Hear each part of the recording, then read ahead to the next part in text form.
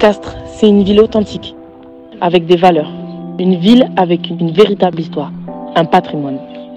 Mais Castres, c'est surtout une terre de rugby, une terre de passion, d'engagement, de courage, de respect. Castres, c'est un club, le Castres Olympique, qui a des valeurs, une réelle identité, qui signifie famille. Mais le Castres Olympique se conjugue aussi au féminin. Trois catégories, minimètre, cadette, senior. Rejoins la plus adaptée à ton âge pour apprendre à jouer au mieux. Intègre le CO pour vivre une aventure, une histoire. Viens avec nous essayer de faire rayonner le rugby féminin.